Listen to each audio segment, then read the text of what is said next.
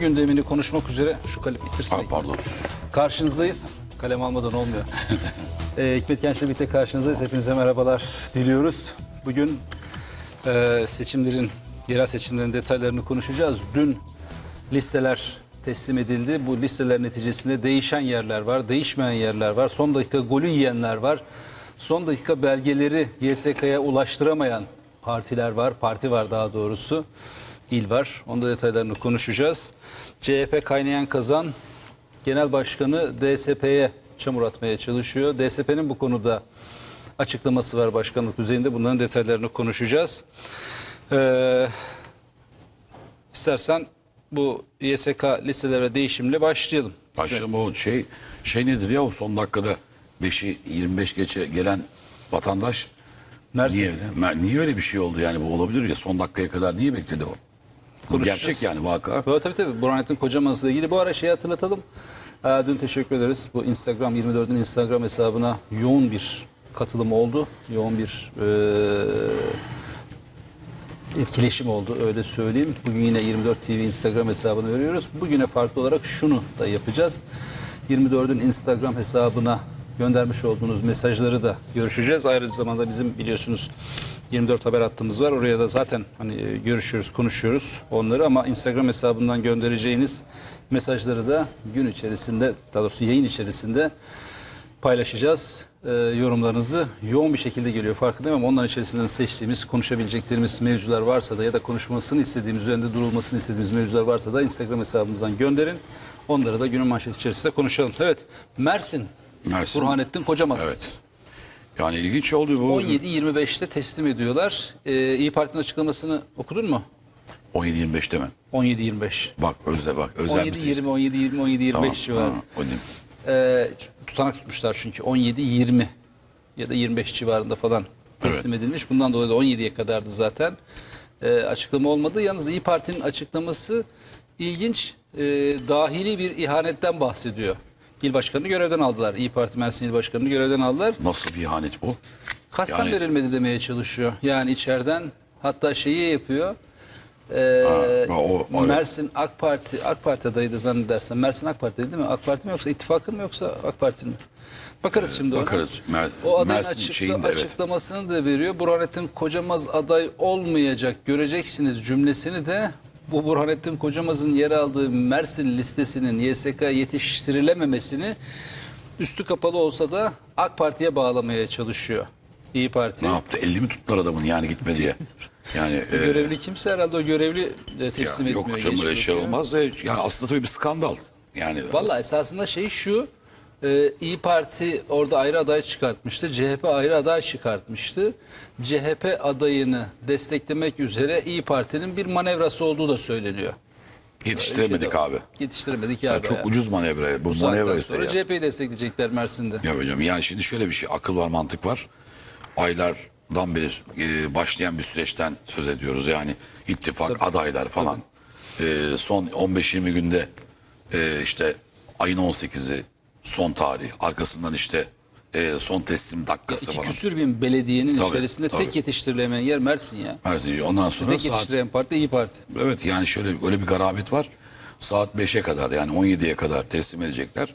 Edememişler, yetiştirememiş falan. Neyi yetiştiremediler bilmiyorum. Yani bu şeye benzedi. Yani Kılıçdaroğlu'nun oy kullanamamasına benzedi yani. O da bütün kampanya boyunca hayır deyin, hayır deyin diye ciyak ciyak bağırdı. Bir gittiler. Meğer seçmen kütüğünde kaydı yokmuş adam. Yani bu anormal bir şeydi bu. Hani olmaz mı? Olur ama ciddi bir skandal. Normal şartlarda giden prosedürse ben şöyle e, aklı selimin söyleyeceği şey şudur. Hakikaten o görevi kim sahiplenmişse yani kaça kadar teslim edeceği konusunda belgeleri götürecek olan kimler varsa hatta bizzat kendisi ise ve bunda bir e, rehavetten veya unutkanlıktan dolayıysa eğer e, hakikaten bir komedi. Trajikomik bir durum. Ama tabii olayın başka yönü de var falan filan diyorlar. Ben ona çok da ma- makul gelmiyor bana yani. Son dakikaya kadar bekleyip de son saati geçtirdikten sonra kim tuttu ki kimini yani kim kimi tuttu ki orada? Yani nasıl engelleyebildiler? Yani birisi geldi de AK Parti nasıl engelledi? Yolları mı kapattılar yani? Trafiği mi kestiler? Yani niye talimat verildi? Öyle bir şey yok. Ama e, yani siyasette vallahi Kılıçdaroğlu'nun bütün böyle aylarca kampanya boyunca hayır deyin Türkiye kurtulsun deyip de kampanyada sürdürdükten sonra e, gidip sandığa oy kullanamaması nasıl bizim siyaset tarihimizde unutulmaz bir şeyse ardından tabi onu da bağladılar. Hatırlıyorum o zaman bak nereye geldi Gürsel Tekin çok ağır konuşmuştu. Vay işte böyle bilmem bize şöyle haber vermediler, böyle haber verdiler, haber vermeden geçirdiler, geçirmediler. Bir sürü hikayesi vardı yani o Doğru. ket- e, seçmen kütüğünde bazı bilgilerin e, gönderilmesi var. Ama kardeşim sen de olayı çok basit bir hadise bu. Şimdi sen de evde otursan bir sade vatandaş olarak e, seçmen kütüğü bilmem ne orada kağıdın var, oy kullanacağın yerin var bilmem ne var. Hani koskoca bir adama gitmedi mi yani bir parti başkanına gitmez mi? Gider. İşte o oldu, bu da oldu, bunu da gördük. Yani, yani aday belli, hazırlamışlar. Ee, saat 17'ye kadar e, teslim edilmesi gerekiyor. Resmi bir şekilde işlemlerin başlaması için. Evet, e, saat 17'yi geçti. E tabii ki sonuçta bir kanun var, kural var ya. Ne yapsınlar, ne yapsalardı yani? Ne olacaktı ki yani? Sana, sana saat vermiş. Hadi sana bir gün vermemiş yani. Aylardır, günlerdir duruyor orada yani. sabahtan götürver değil mi yani? Ya Ne, sabahtan saat 17'ye götürüver kadar yani. neyini bekletiyorsun? Ama bunların tabii son dakika böyle değişiklikler falan meselesiyle ilgili olarak şey yapıyorlar ama burada bir e, amiyane tabirle bir numaranın döndüğü belli. Yani bu numara İyi Vallahi- Parti içerisindeki Meral Akşener'in dediği gibi dahili bir dahili bir ihanetten mi bahsediyor? Yoksa e, CHP'nin İyi Parti çıkmasında oylar bana gelsin mantığıyla CHP'nin yaptığı bir şey mi olarak gözüküyor? CHP nasıl yapabilir ki? Bilmiyorum yani. Yani burada bir evrakı teslim edecek adama gitme kardeşim gecik. al şu parayı da tuttu şu anda. bilmiyorum para mı dedi başka Yani bir şey mi? abi yani. Hayır ben sana ihtimalleri sıraladım böyle oldu diye söylemiyorum ama kaçırıp da bağladılar en nihayetinde il başkanı mı götürüp veriyor yoksa bir kurye aracılığıyla mı Teşkilat. teşkilatın Bence görevlisi aracılığıyla mı götürüp teslim ediliyor falan ama Mersin gibi bir yerde yani hani sen bekliyorsun bekliyorsun 20 dakika geçtikten sonra teslim ediyorsun. Buradan başka bir şey mi üretmeye çalışıyorlar? O İyi, İyi Parti'nin kendi sorunu ama genel anlamda Mersin anlamında şunu da gözden kaçırmamakta fayda var. CHP ayrı aday çıkartıyor. İyi Parti ayrı aday çıkartıyordu. Ee, İyi Parti adayının e, seçimlere giremiyor olması kimin işine yarar? Rahmetli Mahir Kaynağ'ın e, ifadesiyle yani sonuca bakacaksınız. Kimin Suik- işine suikastlar, evet. kime fayda sağlıyorsa genelde tırnak içinde söylüyorum genelde onun işidir diye söylerdi. E, dolayısıyla burada kimin işine yarıyor? AK Parti işine yarayacak hali yok. CHP'nin işine yarıyor. Dolayısıyla burada bu denklemin içerisine CHP'yi de katarak düşünmekte fayda var. Ya da tepede CHP İyi Parti Genel Başkanlarının bir organizasyonunun Mersin'e yansıtılmış hali de olur mu bilmiyorum. Son Olabilir. cümle çok önemliydi bence. En acayip de bu Olabilir. ya. Çok en acayip, doğrusu da çok bu ya. Çok acayip bu. Peki şey ne Ya diyeceksin? çünkü bak yukarıdaki verilen bir karar hani son dakikada dengeler falan değişiyor ya hamleler oluyor ya sen şimdi Mersin'de sen şu kadar ben bu kadar oy e, bu kadar bölünme bu kadar bölünme sonucu hiç şansımız kalmayacak. E nasıl yapacağız bu saatten sonra? Şimdi söylesek bizim Mersin ilçe, ilçe ile desek ki biz adayımızı çekiyoruz tek başına kalsın. Çocuklar bir sefer başta yürümeye. Ona bunu yapamaz. Bunu yapamaz. Abi ne yap edin yetiştiremeyin. Bak başka aklımız başka komplo. Yetiştiremezsek Mersin- böylece girememiş oluyoruz. MHP'nin de bildiğim İslam dışında. kadarıyla MHP'ydi daha önce Burhanettin Kocamaz. MHP'den aday gösterilmeyince İyi Parti'ye geçmişti. Geçmişti, evet. Hani acaba İyi Parti MHP'ye kıyak yapıp hani sen aday göstermediğin adam ben de burada yiyorum mu demeye çalıştı. Bilmiyorum. işte bak İşin 100 espri tane teori Bin tane senaryo çıkıyor. ürettik burada Ama çünkü bütün bu senaryolar saçma. içerisinde işine en az yarayacak parti AK Parti. Şimdi. Meral, çünkü Meral Akşener Tabii. açıklamasında Hiç buraya çamur atmayın AK yani. Parti'ye de yönlendirme yapıyor hafiften. Yani Allah ben öyle gördüm. gibi menfaat AK Parti olacak? zannedersem. Bak Yani- onu tam bilmiyorum. İsim vermişti şeyde. Yani öyle ya da böyle e, işte böyle 10 tane ayrı komplo teorisi ortaya çıkar. İşin gerçeği doğrusu nedir? Alt tarafı üst tarafı nedir? Aşağı yukarı böyle bir ufak pencereler açtık ama hangisi doğru bilemiyoruz. E, ama şu var şu var yani e, bir parti için buradan herhangi bir parti için fark etmez. E, efendim partimizin adayının başvurunu, başvurusunu YSK'yı yaparken e, geç kaldık, trafik vardı, yetişemedik falan gibi Saçmalık işlerle e, anlatılamayacağı için aynen bir parti liderinin genel başkanının efendim bir- unutmuşlar çocuklar galiba bizim şeyi almayı. Yani çünkü o fotoğraf önemlidir biliyor musun? Seçim günü veyahut da referandum günü bir parti lideri böyle başat partilerden bir tanesi olacak yalnız böyle işte ana muhalefet o zaman o zamanın e, o sandığa oy atarken ki o zarflı fotoğrafı böyle bir çekilmek durumundadır. Her parti lideri gitti ya yani genel başkanımız oy kullanamadı diye bir şey olmaz. Şimdi burada aynı absürtlük burada da var. Yani bu çok saçma sapan bir şey. Yani nedir o? Son dakikaya kadar 17 bilmem yetişemedik. Neyse canım çok da fazla yani yetişemezse Böyle yetişemedik. ciddiyetsizlik olabilir mi ya? Yani hakikaten ciddi- artık yani en yani. son noktaya gelinecek. Bir de bunları son, ülke teslim Son, edeceksin. son cümle bu yani hakikaten. Yani Hayır bunu ülke teslim edeceksin yani. Bunu Avrupa Birliği oy toplantısı ku- ke- kendi, kendi, toplantı kendi yetişemez. seçim bölgesinde oy kullanamayan başkan adayı mı dersin? Listeleri yetiştiremeyen parti mi dersin? Ne ya bu yapacaksın, ne ne ciddiyetsizliktir, bu ne öyle lavvaliktir derlerdi. Yani Bize dediğin gibi bir de söyleyeyim. bunlara Ha. hani kent teslim edeceksin, Evet. şehir teslim edeceksin Evet. bir de bunlara. Böyle Sabah saçmalık 8'de olur. çöp toplanacağını öğlen yine 10'da falan. Öğlen 10 olmaz. Öğleden sonra saat bir 2'de falan. hafta sonra. Bir hafta orayı. sonra. Pardon çöpleri Orada mı unutmuşuz. kalmış, orada mı kalmış şimdi? O bizim işimiz miydi falan diye soracaklar tabii herhalde. yani. Şimdi e, adaylar üzerinden yürümeye devam edelim. Bu taklacı e, aday vardı eski İçişleri Evet, Bakanı. İdris E, Naim. İdris Naim Şahin. Naim Şahin. Önce CHP'den dediler. CHP ya bunun C, FETÖ'yle iltisakı, irtibatı e, olma ihtimali var. Ya da en azından açıklamaları e, bu FETÖ'deki, Pensilvanya'daki şarlatanın işine yarayacak derecede e, pespaye bir, bu bize zarar verebilir.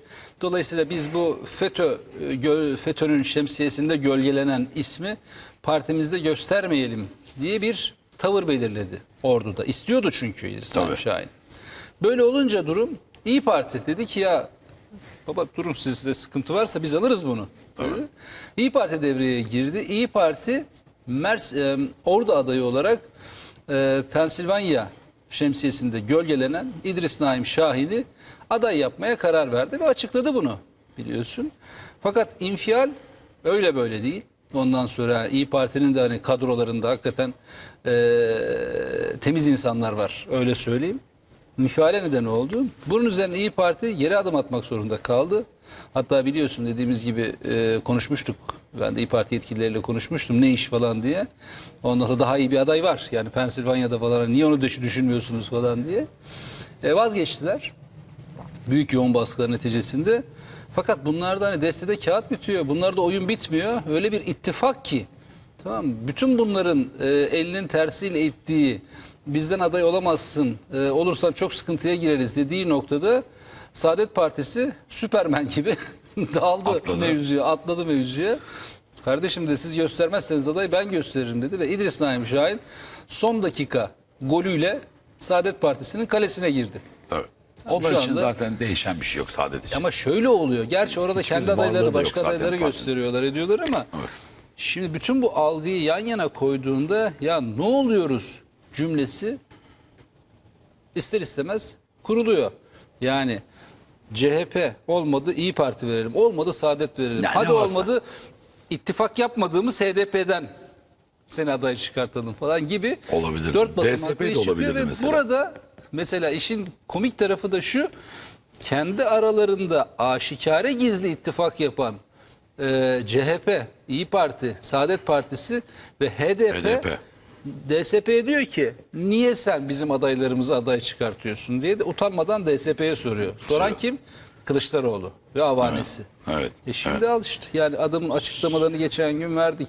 Ondan sonra bu e, Pensilvanya'daki şarlatanın e, medya organlarına verdiği desteği gösterdik.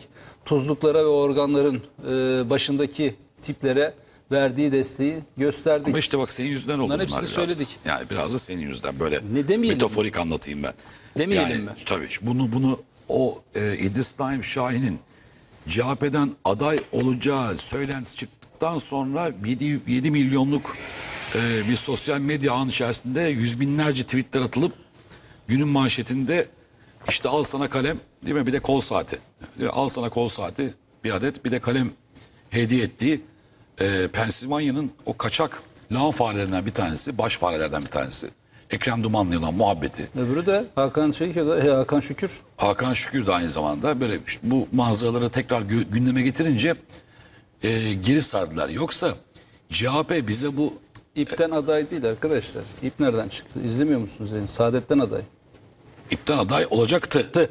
Tı. Onu O demeye çalışıyorlar bizim arkadaşlar? Şimdi bu şu var. Şöyle bir e, şeyim olsun, e, şerhim de olsun. Yani CHP bundan vay bu FETÖ'cü bize yapışır falan korkusundan değil. Çok açık bu kadar olmaz. Yani biz zaten FETÖ'ye yeteri kadar destekte bulunuyoruz. Ama çok açık bize yapıştırılacak bir na- Naim Şahin bize zarar verebilir. Çünkü bazı hala kandırdığımız bir kesim var. Hala bizim FETÖ'yle iltisakımızın olmadığını, e, Kemal Kılıçdaroğlu'nun bir FETÖ projesi olmadığını zanneden bir kesim var. Bunlara ayıp olur. O yüzden böyle çok yapıştırma e, bir FETÖ'cülük olmasın üzerimizde. Biz zaten FETÖ için gerekli her türlü siyaseti yapıyoruz. İP aynı şekilde. İyi Partili de. Yani bu kadar yapıştırma olmasın diye. Bütün bunlar ortaya çıkınca, görüntüler falan tekrar ortaya çıkınca e, neydi? Taklacı mı diyorduk buna? Taklacı. Taklayı ata ata ata geldi en sonunda e, işte şeyin son halkasına geldi. Bu saadet zincirinin en son halkasına geldi. Saadete yapıştı kaldı. Onlar için de çok bir şey fark etmiyor.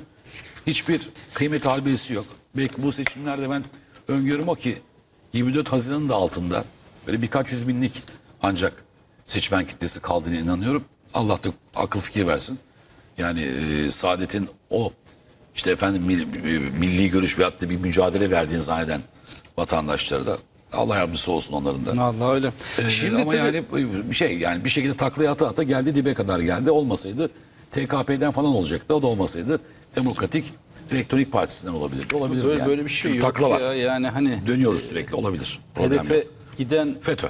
hedefe giden yol e, daha doğrusu hedefe giden her yol mübah Takladan değildir geçer. kardeşim. Yani böyle bir şey yok. Bu Bunlar bunlar hani bu tarz böyle bir faydacı yaklaşım, makyavelist yaklaşım falan Fark etmiyor hani yani. CHP'ye falan uyar, HDP'ye uyar. Tamam bunlarla ilgili sorun yok da hani ne bileyim biz yakıştıramıyoruz SP'ye de Saadet Partisi'ne de demek ki Abi yok, yok, kendilerine yakış- yok, bir şey yakıştırıyorlar yani. Yok, Hani- yok, o. Ben- Hayır ben- yani normal şartlar Tabii. altında diyorum. Yani o hani çetenin içerisinde Bak, onlar bence de. Ekrem Dumanlı denilen o Tabii, tabii. e, Normal. Pensilvanya'daki şarlatanın Türkiye'deki ondan sonra borazanına İdris Bak şeyi Şahin unutmamak yaptı. lazım. Bir önceki genel başkan Mustafa Kamalağ'ın şu ifadesini asla unutmamamız lazım. Ee, Milli Güvenlik Kurulu toplantısında çıkan kararda FETÖ'nün bir terör örgütü mücadele edilmesi gereken ve Türkiye'nin bekasını tehdit eden bir terör örgütü olduğu kararı çıktı.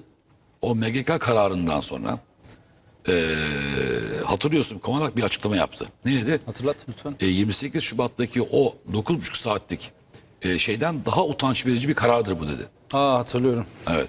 O yüzden yani şimdi Saadet'in ne Ya olduğunu burada anlayalım. yakıştıramıyoruz derken Evet, Saadet'e Saadet- gönül evet, vermiş. bence yakışır, Türkiye için yapışır, söylüyorum. olabilir. Yani bu kurmay, kurmay kadrosuna bir şey demiyorum tabii. Bir oy patlaması bekliyordu Şimdi galiba şunu- böyle oy patlatacak. Bak ben sana bir tane bir grafik vereceğim. Hikmet, grafik göstereceğim. Saadet'le başladık, Saadet'le devam edelim. Şimdi grafik, arkadaşlar hazır mı? Adıyaman grafiği. 2014 yerel seçim sonuçları. Şu grafik. Ekranımızda var mı? Hazırsa onu da ekrana verin. Şu grafik. Rakamları görüyor Adıyaman. Adıyaman bu. Şu grafik. Müthiş bir gücü varmış 2014. AK Parti'nin. Değil mi? Yanlış hatırlamıyorum. Yanlış söylemiyorum değil mi arkadaşlar? 2014. %56.5 AK Parti. %21.8 CHP. %12.8 MHP. %5.3 BDP. O dönem BDP'ydi. 2009 mu 2014 mu? Onu bana hemen söyleyin bu rakamları. 2.3 Saadet. 0.7 Büyük Birlik Partisi. Tablo bu. Şimdi bu tabloda normal şartlar altında AK Parti'nin karşısına kimin dikilmesi lazım ittifak olarak? CHP olur değil mi yani hani en çok çünkü rakip olarak gözüken. CHP 21.8 ondan sonra burada BDP'yi de alırlar yanlarına ondan sonra HDP'yi de alırlar yanlarına bu 2009 olabilir bir daha tekrar bakayım MHP'yi zaten alacak halleri bir de İyi Parti faktörü var burada ilk defa yerel seçimlere giriyor bunları da alarak AK Parti'nin karşısına dikilirsin değil mi normal şartlar altında Makul mi? Mantıklı olan bu. Tabii yani. Nasıl oluyor da 2.3 alan Saadet Partisi bir aday çıkartıyor? Ahmet Faruk Ünsal.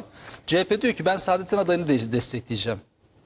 Allah Allah diyorsun Saadet'in adayını. Peki HDP de diyor ki ben de Saadet'in adayını destekleyeceğim. Açıklamalar arka arkaya burada.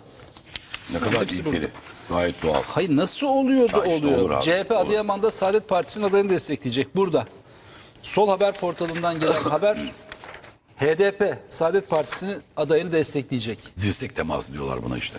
Hani diyordu Yani- ya daha önce dirsek teması diye. Dedim ulan dedim bunu böyle dirsek teması burun buruna kafa teması der yapmayın. Bu bir bu Adama- bir konsorsiyum ar- arkadaş. Adama sormuşlar ya traktör hakkında ne düşünüyorsun falan diye. Adam demiş ki bence kıyamet alameti. Niye demiş ya kıyamet alametiyle traktörün ne alakası var? E, büyükler küçükleri takip ediyor diyor. Ön teker küçük, arka teker büyük ya. Şimdi bunu oy oranına falan vurduğun zaman tamam hakikaten kıyamet alameti 2.3 puanlık bir oy oyu olan Saadet Partisi'ni 21 nokta küsür artı işte 5 nokta küsür olan iki tane parti açıklıyor. Yani hani şeyi geçtim artık bunları söylemek falan dilimizde tüy bitti artık e, vakay adiyeden oldu evet, mesele. evet, yani evet, ama- HDP ile Saadet nasıl yan yana gelir? Hani CHP ile HDP yan yana gelir çünkü onların hani bir şekilde kuruluşu, design di- di- designer'ı en azından bu işi kurgulayanı falan aynı olduğunu düşünüyorsun. Ama buradan da anlaşılıyor ki bir kez daha anlaşılıyor ki yeni değil bir kez daha anlaşılıyor ki Kamalak döneminde orayı dizayn eden ondan sonra e, şimdiki başkan Etmiştir. Mollaoğlu, Semer Karamollaoğlu'nu da dizayn etmiş kardeşim. Bunların sadece isimleri farklı Tabii. kurgucuları falan aynı olduğu Kesinlikle. için aynı kayığa bindirip hiç sorun değil. HDP'nin de adayı olabilir, Saadet'in de adayı olabilir, CHP'nin de adayı Kesinlikle. olabilir, İyi Parti'nin de adayı olabilir. Evet. Buradan yürüyün kardeşim Biz- ne olacak? Biz neden yanılıyoruz ve şaşırıyoruz ve sen de niye şaşırıyorsun? Şundan dolayı. Diyorsun ki aa bir dakika dur CHP, aa HDP, CHP, HDP, ulusalcı Kemalizm ne mutlu Türk'üm diyene öz yönetim. Aa bir dakika dur Saadet, aa bu ne milli görüş. Kim o? HDP, HDP milli görüş falan. Biz böyle hani hareket çekiyoruz ya. Aa o falan filan bilmem ne.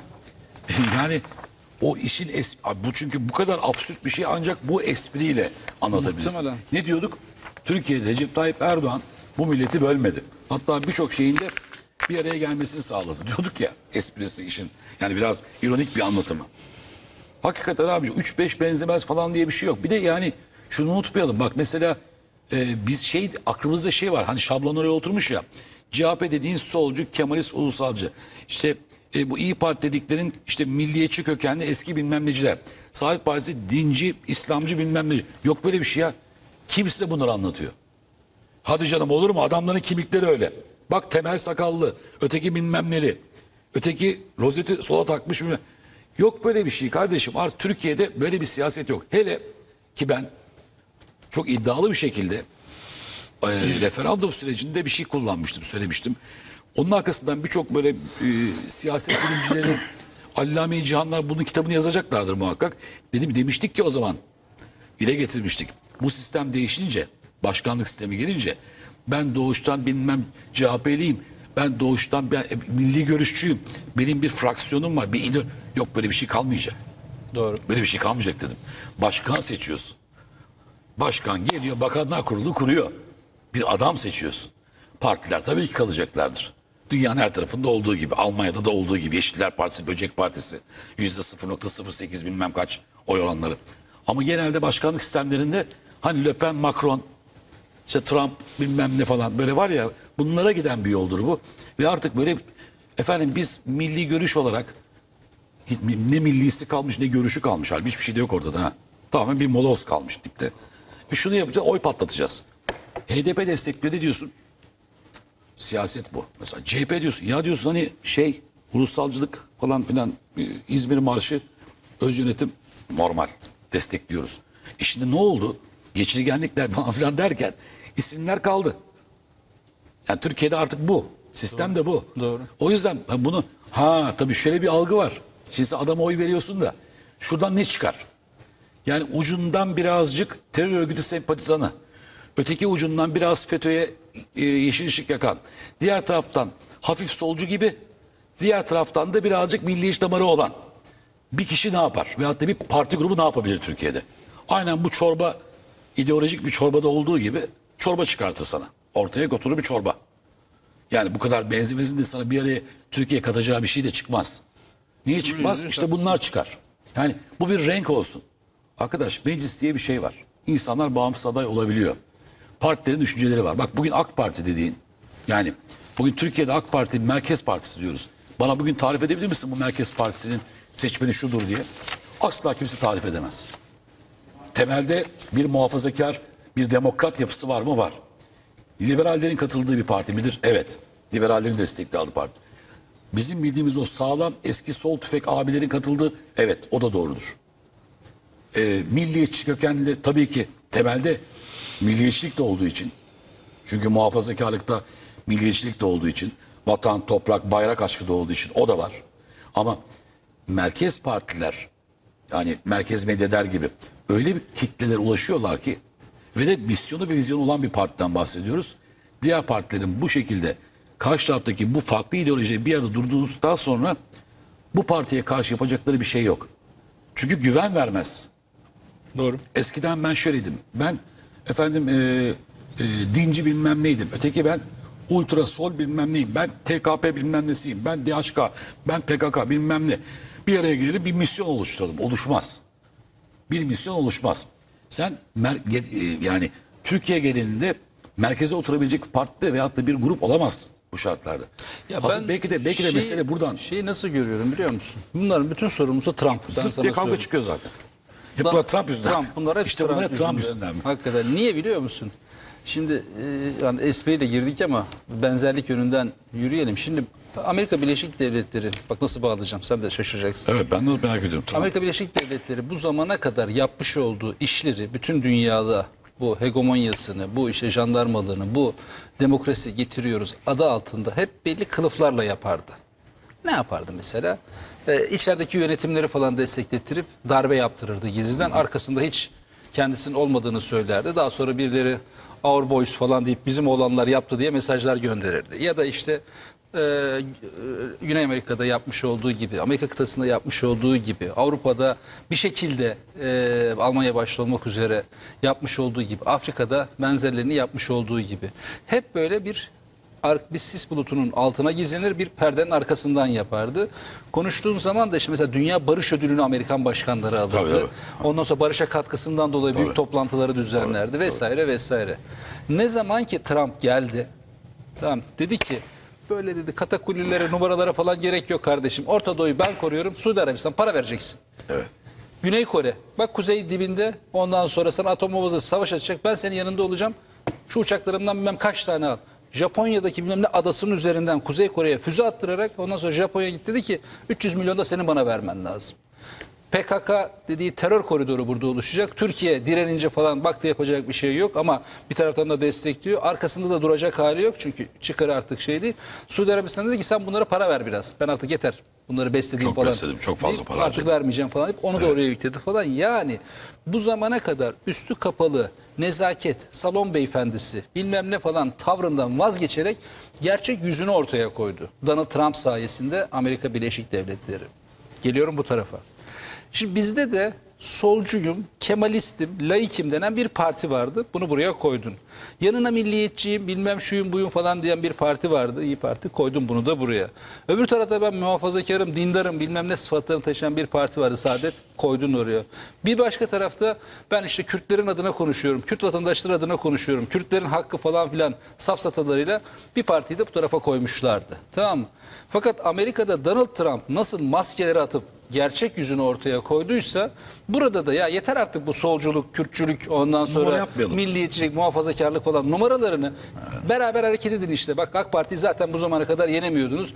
Bundan sonra bu şeyler altında, maske altında siyaset yapmaya gerek yok. Hepinizi biz kurduk. Ne olduğunuz belli. Beraber yürüyün. CHP'den olmuyor mu? Saadet'ten girsin aday. Olmadı mı? İyi Parti. Vermedi mi? HDP sende destek. Kandil'e gitsin. MLKP'si. DHKP'cisi, fark Kandili. Mandili fark falan. etmiyor. Bütün üzerlerindeki o maskeler kalktı. Sis bulutları dağıldı. Perdenin altından siyaset yapma ihtiyaçları kalmadı. Efendileri öyle söyledi. Şimdi bak çıkıyor Adıyaman'dan 2.3 oy almış bir parti. Diyor ki benim adayım şu 2.3 2014 seçimlerinde 16'dan 23'e çıkartmış 2009-2014 kıyaslamasında CHP. Tamam mı? AK Parti'de 49'dan 56'ya çıkartmış. MHP'de 6'dan 13'e çıkartmış oradaki oylarını. 2.3 puan alan bir parti diyor ki benim adayım bu. 23 oy alan, %23 oy alan parti diyor ki çok iyi yaptınız alkışlıyorum adayınızı destekliyorum. Yüzde işte 5 küsür alan HDP aa ne güzel aday biz niye düşünemedik ya biz de Saadet seni destekliyoruz falan. İyi Parti bilmiyorum Adıyaman'dan gösterdiğini 2019'da olmadığı için o parti oranlarını falan bilmiyorum ama Adıyaman'dan adayı gösterip göstermediğini de bilmiyorum araştırmadım ama göstermediyse İyi Parti diyecek ki "Hmm, çok iyi ya biz de bunu destekleyelim falan diyecek. Ya da aday gösterecek. Aynen Mersin'de olduğu gibi. Adıyaman'da yetiştirmişlerdir listeyi ama liste çıkartmalarına rağmen kitlesine sade destekleyecek. Nasıl oluyor ya? 2.3 puan. Kim karar veriyor buna? Madem çok iyi bir adaydı bu. CHP diyeydi ki ya bu adayı biz alalım. Siz bizi destekleyin. Yok. Onu arada arada onu bazen yapamıyorlar çünkü içeriden kavga çıkıyor. Ankara'da İstanbul, İstanbul Ankara'da yürümeye başlıyorlar. Teşkilatta istifa ediyor Ne falan. Onlar oldu istediği gereksiz. kadar yürüsün. Ali Bunlar Şakir, çok gereksiz. Maltepe adayı hala yürüyorlar. Ankara yolu açtılar bilmiyorum. Son dakikaya kadar bak bütün yolsuzlukları, şunları bunları falan olmasına rağmen Evet. e, Ali Kılıç'tı zannedersen Ali Maltepe Kılıç. Belediye Yine Başkanı. çekmediler, oldu. Çekmedi geriye Kemal yürüdüler yani. Kılıçdaroğlu. Hem de bu soğuk havalarda yürüdüler. Yani insan yazı Yazık. bekler ama tabii o zamana kadar seçim bitiyor. Şimdi ne diyeceğim? Olay şu. Şimdi biz bunları hani böyle e, eleştirirken bir yanlış anlamayı da ortadan kaldırmak lazım. Olur. Arkadaş birleşiyorsan birleş. Birleşmiyorsun. Neden birleştin? Neden ittifak yapıyorsun? Yapmayın kardeşim falan deme hakkı bende yok. Vatandaşta da yok. Vatandaş kendi çizgisine uyar uymaz ona göre karar verecek zaten. Kendi aranızdaki tasarruf bunlar. Şimdi buna buna kızmayın bak buna söylediğimiz zaman buna alakası yok bunu buradan ayırmak şunu şuradan ayırmak. Ya niye boşuna nefes tüketiyorsunuz yahu? Yani bunu 15 bin defa yazdık hala millete de geri zekalı muamelesi yaptığı süre içerisinde millet sizi koyacağı yeri biliyor. Millete aptal muamelesi yapıyorlar. Benim isyan ettiğim şey bak şu. Aslında var ya bak baştan dinledim dedim ulan dedim acaba hakikaten Murat bunu bağlayabilecek mi? Hakikaten de bağlamış oldum. Yani çok realistik bir e, e, siyasi Değil mi yani, öyle değil mi? ortaya. Gel çok gerçekçi. Şimdi e, efendim sen FETÖ ile iltisak Böyle dedikodu olsun diye yapıştırma bir şey söylemiyoruz canım. Anlatıyoruz. E, İdris Naim Şahin şöyle bir adam gösteriyoruz işte. Hakan Şükür en son 2014 aralığında dibine kadar, kanının son damlasına kadar FETÖ için mücadele etmiş, FETÖ için çalışmış bir adamdan bahsediyoruz. 2014'ün sonuna kadar. Ama CHP uyar mı? Hmm, uymaz. Ona uyar mı? Abi uyuyacak bir yer buluruz. Değil mi? Münasip bir yer. Neresi? Şurası. Bak al. Saadet'te kaldı en son. Ha kalmasaydı da şaka yapıyoruz zannediyor millet. Başka bir yerde kalırdı. Problem değil. Yani ama bu aslında şu eleştiriye karşı şunu söyleyeceğim. Asıl söylemek istediğim şey şu. Ha yapabilirsiniz kardeşim. Yani ama şunu demeyin. E, Kandil bize karar veremez. E, bilmem ne. Ya Kandil karar veremez diyorsun. Herkes anlaşmışlar.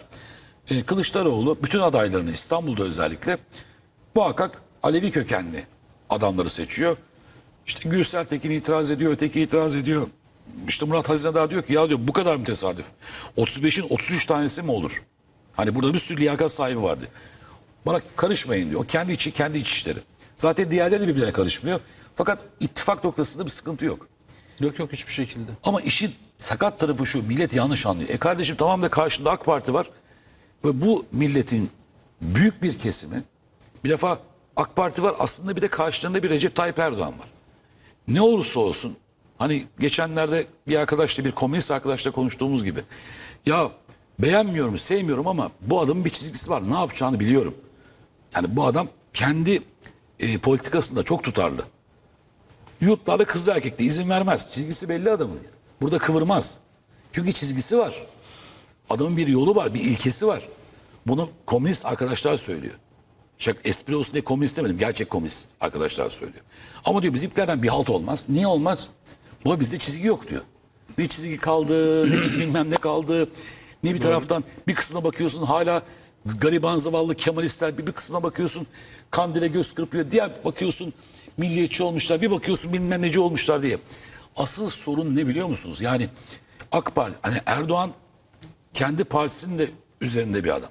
Bu bir vaka. Aldığı oy oranlarına bakıyoruz böyle.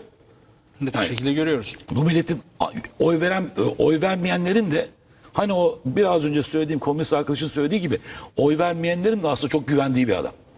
Oy vermiyor olabilir ama biliyor ki o büyük bir çınarın gölgesi gibi. O belli. Duruyor orada. Şimdi bu, abartmıyorum ya. Senin, yani 17 sene kolay değil abi ya. 17 yıl kolay değil. Yani bu millet bir şey buldu. Bir şey buldu ki ona teveccüh ediyor. Şimdi tamam. Peki ne demek istiyorsun Hikmet? Yani AK Parti falan bu kadar yüzde 50. Olay şu. AK Parti bir merkez parti. AK Parti bu ülkede 17 yıllık tüm icraatların üzerine imzası olan bir parti. Tamam. E buradaki partiler falan onlar da işte merkez olmaz mı? Hepsi bir araya gelse. işin kötü tarafı işte o. AK Parti tek bir parti ve ittifak yaptığı partide işte Milliyetçi Hareket Partisi Net. MHP. Net. Ne diyor? AK Parti Rabia diyor bayrak bayrak ben de diyor aynısını söylüyorum diyor. BK diyor ben de aynısını söylüyorum diyor. Ya anlaşamadığı iki- noktalar da var. Ta- ta- Ya olacak tabii ki. İki ayrı şey partiden söz. bahsediyoruz Aynen ama öyle. tabanda Aynen öyle. milliyetçi, muhafazakar çizgisi olan bayrak, toprak, vatan diyen iki parti. Bunun şimdi kıvıracak bir tarafı yok. Bu, bu, bu olay bu. E sonra dediler ki şunu dediler. Ha bir ayrışma aslında 15 Temmuz'da başladı. Bak ondan öncesindeki bizim de yazılarımız bir takım işte polemikler falan. Valla birbirleri hakkında çok da ağır o- konuşuyorlar bak, diye. Hani bunu tabii, şey yapacak halimiz yok. konuşuldu ama 15 Temmuz'da bir yere Siyasetin gelindi. dili böyleydi o dönemde. Evet ama 15 Temmuz'da bir şey bir yere gelindi. İki partiden şöyle bir refleks çıktı ortaya. Bir dakika bir dakika. Parti olarak ben varım da benim Ülke olmadıktan he, sonra. olmadıktan sonra ne yapacağım ben? olsa Bir dakika olur? bir dakika bir saniye deyip iki dakika düşünme. Öteki tarafta hani o televizyon karşısında kahve içen tiplerle MHP'nin ne olduğu ortaya çıktı. Bravo. Ortaya çıktı derken yani MHP böyle bir parti olduğunu ispatlamış oldu. Halka da ispatlamış oldu. Dedi arkadaş biz partiyiz geliriz geçeriz. Bizim için bu topraklar, bu millet, bu bayrak önemli. Aynen Bunlar var olacak isterse ben yok olayım dedi MHP. Aynen öyle. Tamam koyduk köşeye. Bu da böyle. Bak bu partiler ve bu kafa Recep Tayyip Erdoğan'ın işte bu Rabia sistemi içerisinde Recep Tayyip Erdoğan'ın doktrinleri çerçevesinde değil. Bak çünkü doktrinleri var. Dünya beşten büyüktür öyle değil mi? Evrensel doktrinleri var. Dünyadaki işte e, adaletsizliğe karşı koyan hiç unutmadığım hep örnek verebildiğim çok çünkü hakikaten insanı duygulandıran bir ifadeydi o. Dünya Enerji Zirvesi'nde tatif için söylemiyorum ama bunu kim söyleseydi elini öperdim. Bak elini öperim mi? Ey zenginler diyor ki dünyadaki bütün enerji kaynakları paylaşılıyor. Hepimizin belli bir enerji gücü var. E, Türkiye'de bunlardan faydalanan bir tanesi. Biz de böyle siz de ama dünyada eğer adaletli bir enerji dağıtımı olmazsa Afrika'da gür, gürül gürül akan Nil'i besleyen damarların bir tanesi işte atıyorum Etiyopya'dan geçerken 200 kilometre ötesinde sırf oraya götüremediği için suyu Nil'i besleyen damardan bahsediyoruz. 200 kilometre ötesinde insanlar e, açlıktan ölüyor, susuzluktan ölüyor. Bu enerjiyi bu insanlarla paylaşmamız lazım deyip dünya enerji zirvesinde konuşan bir liderden bahsediyoruz. Ya yani yani dizinize gözüne değsin yani ne diyeyim ben size? Ve bunun karşında Batı se Batı tabii ki sevmez. Çünkü Batı'nın medeni medeniyet anlayışını suratına vuran bir lider. Doğru. E şimdi böyle bir parti var karşında. Bir de bu tarafta alacalı bulacalı değil mi? Hatta alacalı bulacağı iyice fırça sürmüşler. Melekler de kaybolmuş arada. Kimin ne olduğu belli değil. Bir parti var. Sen şimdi bir ülkeyi normal şartlarda hani eski sistemde olsaydı konuşurduk da artık bunu da konuşamıyoruz. Çünkü eskiden koalisyon vardı. Bir başbakan seçiliyordu falan filan. Ama böyle bir düşünceyi bütün bu Kandil'le İzmir'i bir araya getiren değil mi? Saadet'le tekkeyle Kandil'i yan yana çeken. E, imanımız Atatürk'e, itikadımız bilmem ne diyen Akşener'den tut. Bunları bir araya getiren bir koalisyonda, bir ittifakta ki çok doğru bence hakikaten zillet ittifakı. Hakikaten zillet. Çünkü insan utanç duyuyor bazı şeylerden. Bu ittifaktan abi sen bu ülkenin nesine hizmet beklersin çok merak ediyorum. Yani neresine hizmet edeceksin?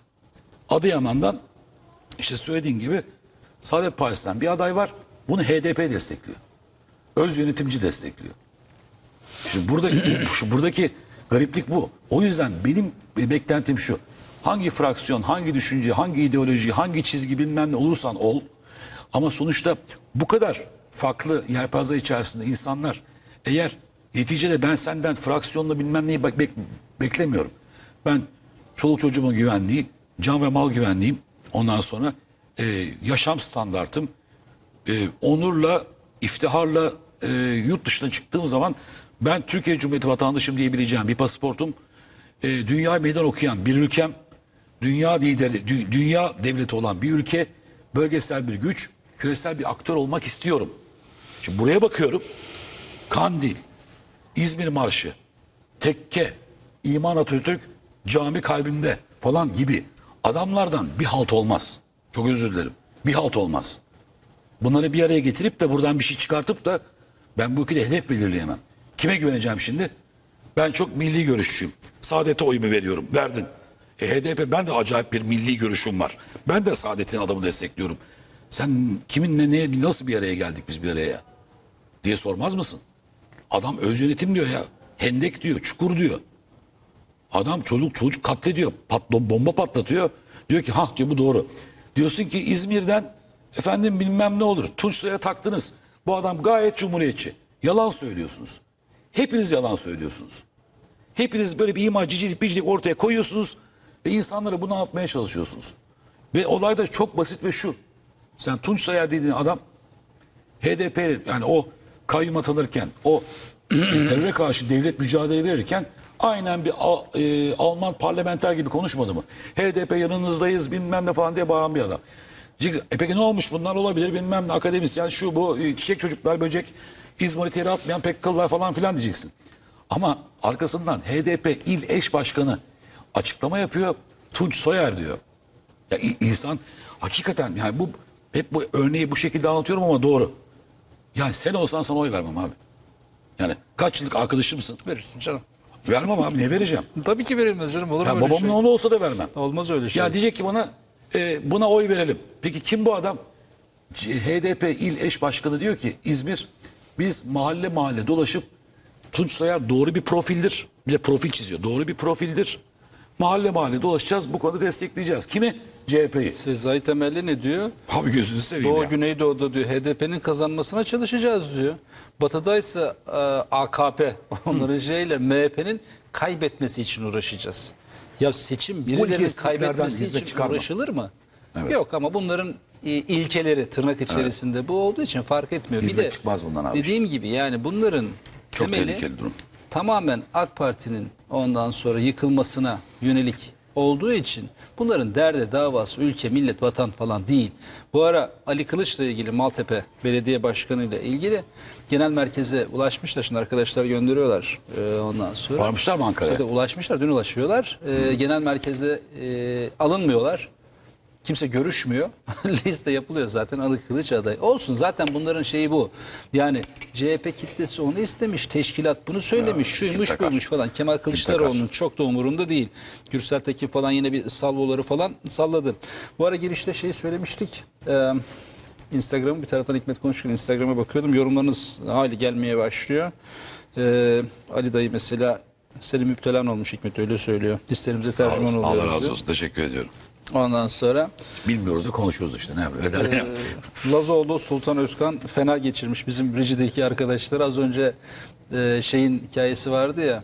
E, İdris Naim Şahin, Saadet Partisi'nin aday diye rejideki editörümüz Selman kardeşim de onu İP diye yazmıştı ya. Oradan sağ olsun Lazoğlu Sultan Özkan da güzel bir yorumla haklı olarak ondan sonra e, söyleyeceğini söylemiş. Instagram hesabından yorumlarını Herhalde altında çok, herkes çok söyleyebilecek. e, sağlam gümüş topak ki Esra okuyamıyorsun Karışık.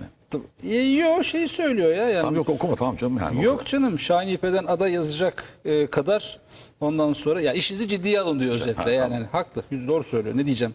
Esra Karakaş yazmış yorumları var. Ondan sonra e, Yonca Hanım'ın var. Bazıları bayağı mektup gibi yazmış. Tabii tabii uzun uzun yazanlar onları çok biliyorum. Sercan, Sercan Çe- Ersin'in var. Çavdaroğlu, Zeki Çavdaroğlu var. Şerif Eskinova var. Ee, diğer şeyler de var, yorumlar. Maşallah. Birçokları falan var. Geliyor yavaş yavaş da bunların hepsi Instagram hesabından. Bunlarla ilgili olarak da paylaşımları sürdürüyoruz. Onu da söylemiş olalım. Peki devam edelim. Ee, bu tiyatrocular attıklarında mangalda kül bırakmıyorlar. Kahir ekseriyeti. Sorsan ben kardeşim bütün partilere eşit mesafedeyim. Türkiye'nin bilmem vıdı vıdı vıdı vıdı söylüyorlar arka arkaya. Tamam mı? Yani hani Yanda- benim cümleler olduğu için şeyine biziz. girmiyorum çok fazla.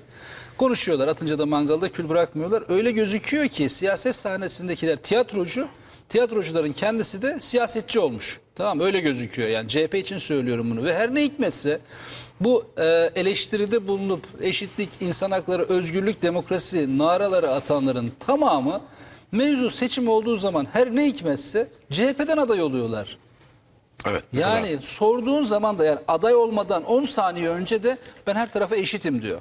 10 saniye önce. Bir de bize yandaş diyor. Ondan sonra bize yandaş. Ya bunlardan bir tanesi Levent Üzümcü. Tamam. CHP'den Şişli Belediye Meclis üyesi adayı olmuş. İşte 3-3 kalmadı. Levent Belki 3-5 Üzümcü. kuruş maaş falan filan kazanç herhalde. Bilmiyorum artık ne oluyor Kimse- yani. Hani kimse bu tiplere artık- Niye? E, sorduğun zaman da efendim şu bu falan filan. Ya kardeşim bak bu ülkede e, bir yerlere gelmek istiyorsan bir zaman öyleydi. Bir yerlere gelmek istiyorsan, bir şeyler yapabilmek istiyorsan doğuştan CHP'li olmak mecburiyetindesin. Niye? Çünkü bu kaymak tabaka bu ülkenin sahibi olduğuna inanır ve geri kalanları kendilerine çalışacak köleler olarak görürdü. Yani illa bu köle izavro benzeri falan filan kırbaçla falan filan değil tabii ki böyle şey değil ama en nihayetinde kadrolar bu şekilde belirlenir. Tiyatroyu yapanlar kendilerinden olacak. Gazeteciler kendilerinden olacak. Ya düşünebiliyor musun? Bu ülkede en azından e, son 10 yıla kadar, son 20 yıla kadar AK Parti iktidarına kadar ağırlıklı olarak kahir ekseriyet doğuştan CHP'liydi ya. Doğuştan CHP'li, CHP'li. Başka türlü gazeteci olamazsın. Doğayan gazeteci olamazsın. Şunu olamazsın, bunu olamazsın. Örneklerini verdik. Abla şeyde çalışıyor, televizyonda çalışıyor, Doğan grubunda çalışıyor. Abla? Seçimler oluyor. Söylemeyeyim ismi. Seçimler oluyor. Seçimler olduktan sonra Kemal Kılıçdaroğlu'nun daha doğrusu seçimler sırasında istifa ediyor görevinden. Söyleyeyim ya Ahu Özgürt. Ben böyle isimleri falan saklamam biliyorsun. Şeyi söylerim. Ahu Özgürt meslektaşım gazetecidir. CNN'de çalışıyordu. Kemal Kılıçdaroğlu belediye başkan adayı olunca görevinden istifa etti. Geldi Kemal Kılıçdaroğlu'nun basın danışmanı oldu. Basın Tarafsız danışmanı şekilde. oldu. Çalıştı, çalıştı, çalıştı. Kemal Kılıçdaroğlu kazanamadı. Kazanamayınca ondan sonra seçimler sonuçlanınca tekrar o görevi bırakıp CNN'de devam devam etti. Şimdi başka bir kanalda devam ediyor. CNN'de de şimdi TV5'te mesela. Tamam mı? Saadet'in kanalında mesela çalışıyor şu anda. Eyvallah. Bir başka isim Sözcü. Özlem Gürses. Sözcü'de çalışıyor röportajlar şunlar bunlar falan büyük işler. Bıraktı o görevini ya da onunla devam ediyordu. Ekmelettin İhsanoğlu'nun basın danışmanı oldu Cumhurbaşkanlığı seçimlerinde. Yeşillik olsun diye yapmışlar. Kazanamadı tekrar geldi bu tarafa. Şimdi işte bilmem ne. Ha, Böyle oluyor ve bunların Ya, hepsi bağımsız, tarafsız, demokrat, özgürlükçü, fikir ve insan haklarına saygılı her partiye eşit mesafede gazeteciler. Yalan ya. yandaş da biziz Hikmet. Ya Çok- tamam ama böyle yandaşlar can kurban yani. hiç sorun değil. Neyse yok o. Bunların bu özellikleri, tezahürleri, hayatları böyle olduğu için siyasete yansımaları da HDP, Saadet, İyi Parti, CHP birleşimi oluyor. Aynen. Başka bir şey değil. Doğru, Niye? doğru. Çünkü üzerlerindeki pulu döktüğün anda o üzerindeki makyajın her birisi için ayrı sıfatı var. O makyaj CHP'liliğini kapatıyor. Saadetliliğini kapatıyor. İşte HDP'liliğini kapatıyor diyor falan. Ama bir noktadan sonra mevzu başka şey olduğu anda o makyaj siliniyor. Ne oldukları ortaya çıkıyor. Aynen dediğim gibi dört benzemez gibi görünen ama temelde aynı olan partilerin ittifak yapması gibi. Dünyanın en büyük değerleri. Ya elinde kamerayla bu çocuklar namaz kılıyor deyip de 28 Şubat'ın bak sac ayaklarından bir tanesi olan bu ülkede İslam düşmanlığı açıktan İslam düşmanlığı yapmış bir Uğur Dündar var karşımızda. Açıktan net. O faşizan statükoyu destekleyip Genelkurmay işgalına bakarak bu tür Türkiye'deki Müslümanlara ayar vermeye çalışan bir Uğur Dündar vardır. Yıllarca bunu biliriz. Şeyini saymıyorum. Çok doğru ve dürüst habercilik derken yaptığı haberlerde ve şu- hala bilenler ve hayatta. Ondan sonra da konuşulmaya devam edecektir. O mal, mülk, servetle ilgili olarak. Bir şey söylediğimde oraya bırakıyorum onu. Onu bilenler biliyor ama bunlar bu dosyalar bir gün açılacak. Umarım ki o da hayattayken açılıp suratına vurulacak bu dosyalar. Köşeye bırakıyorum. O onun başka bir takım e, yolsuz iddiaları var. O başka bir şey. Ama sen Uğur Dündar gibi birisini Saadet Partisi gibi iddia ettiğiniz milli görüş bilmem ne orada ödül al ödül ver bilmem ne falan bu hale gelmişsen diyorum ya Allah insanı bu kadar kıvırmasın. Bu kadar dönmeyin yani. Ben bunun üzerine diyorsun ya Adıyaman'dan Saadet varmış da CHP onu desteklemiş. Adıyaman'dan bilmem varmış da Kandil olur demiş. İşte buraya gel bak beni, beni ürküten tablo bu aslında. Bu geliyor Birçok her insan herkes özgürce fikri söyleyebilsin demokrasi falan filan diyoruz ama ben de böyle bir konsorsiyumdan ne olduğu belli olmayan böyle bir konsorsiyumdan da ürkerim ülkem adına. Çünkü birileri bunun içerisinde velev ki CHP kanadı olsun ki bugün FETÖ'ye de göz kırpabilen, FETÖ'yle birlikte çalışabilen, 17-25 Aralık'tan sonra baya baya FETÖ'nün siyasi ayağı olan, 15 Temmuz'da FETÖ ile ilgili ne, ne yapabileceğini çok net bir şekilde fotoğrafını ortaya koyan ki o fotoğraf da CHP'nin kendi yayınladığı fotoğraftır. Onu ortaya koyabilen, ipin ne olduğunu çok iyi bildiğimiz, nasıl proje olarak üretildiğini, İyi Parti'nin nasıl bir proje olarak üretildiğini çok iyi bildiğimiz ve bağlantılarını da ortaya koyan bir parti. Diğer taraftan da anlattık. Kalan tortu Saadet Partisi de Efendim yok efendim Hüsnü Bozkurt, Uğur Dündarlar, ilgi şey, fazla şey olmayan, derdi olmayan bu adamlar sonucunda bize hizmet falan gelmez. Birileri bunları bir araya girin. Yeter ki işin kötü tarafı, eleştirel tarafı şu. Sadece yeter ki Erdoğan'ı indirin, yeter diyen bir kafanın ürünü bunlar çünkü. Bu tehlikeli. Bak ne yapacağını bilemiyorsun adamların. Hangi hizmeti verecek bilmiyorsun. Hangi belediye ne yapar bilmiyorsun. Tabii ki genel konuşma mutlu olacağız. Çok güzel işini yapacağız. Herkes bilmem ne hep beraberiz falan dersin.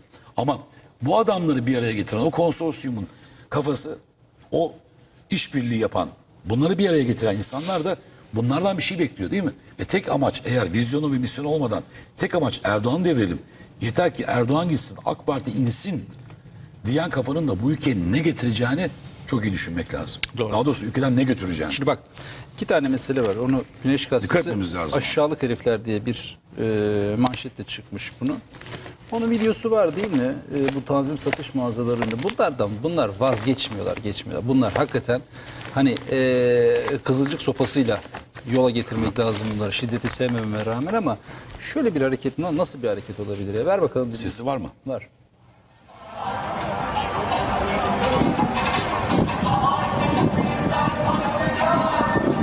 Yine böyle şey yaptı. iyi, iyi dalga geçiyorlar.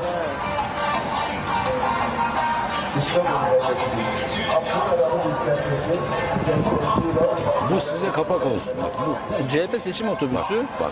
Tanzim satış mağazasının önüne park ediyor. Orası hiç öyle trafikte falan kalınan yer değil. Duruyor orada bak.